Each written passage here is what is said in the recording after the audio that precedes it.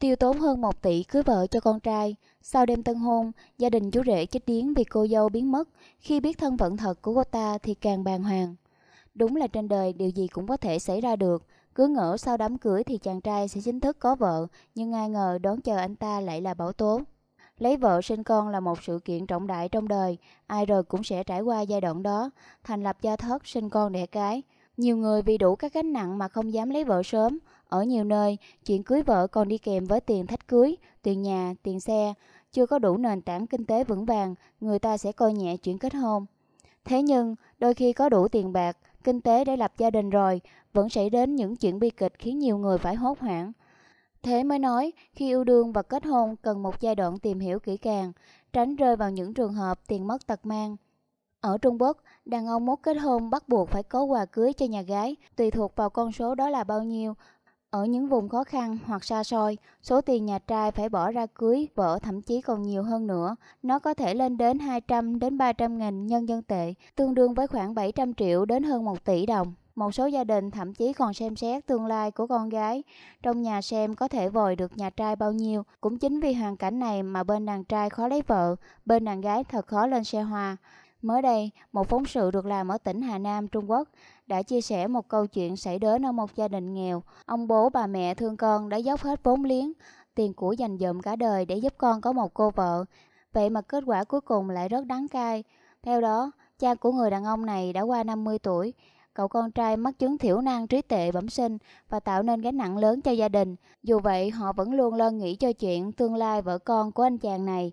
Ai mà chẳng muốn một ngày con cái yên bề gia thất, sinh con đẻ cái. Sau một thời gian nhờ mai mối khắp nơi, ông bố này mừng húm khi một bà Mai nói cho họ biết rằng đã tìm được một mối ưng ý. Cô gái này đồng ý chuyện kết hôn, tuy nhiên số tiền trao cho cô dâu và nhà gái phải thật sự hậu hĩnh. Lúc đó gia đình này thấy con trai mình bẩm sinh trí tuệ kém, chắc chắn không dễ dàng gì hỏi cưới được vợ, nhanh chóng đồng ý theo lời yêu cầu này. Sau đó hai bên thương lượng chuyện cưới sinh và trao cho đối phương số tiền lên đến 280.000 nhân dân tệ, hơn 1 tỷ đồng. Đám cưới của hai người diễn ra vô cùng sôi nổi và vui vẻ. Ông bố bà mẹ của chú rể còn mơ tưởng đến ngày bế cháu không còn xa xôi nữa. Thế nhưng, ngay sau đêm tân hôn, cô dâu đã ôm tiền rồi bỏ đi và chỉ để lại lá đơn đề nghị ly hôn. Cô ta không chịu nổi người chồng này. Gia đình chú rể vô cùng đau đớn mà chẳng biết giải quyết làm sao. Nhà chú rể vội lao đến tìm những người nhà của cô dâu có mặt trong đám cưới.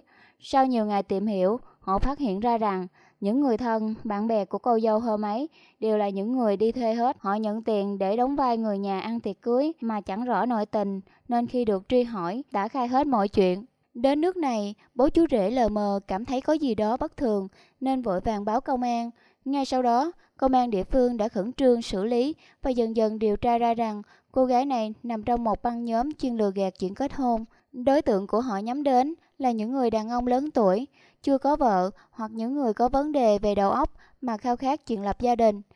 Thế là cuối cùng, cậu con trai này không có vợ là bị mất tiền đãi tiệc. Thế mới nói, giai đoạn tìm hiểu trước khi kết hôn và tổ chức lễ cưới vô cùng quan trọng. Hai bên phải biết rõ về đối phương, hiểu rõ gia đình về đối phương, rồi mới tính đến chuyện trăm năm. Thiếu đi tình yêu thì hôn nhân đã khó bền chặt được rồi, nữa là thiếu đi cả sự hiểu biết giữa hai bên. Đây cũng là một bài học lớn đối với những người muốn yêu và kết hôn. Hãy luôn giữ sự tỉnh táo nhất định, bởi đôi lúc chúng ta rất dễ bị qua mặt như câu chuyện trên.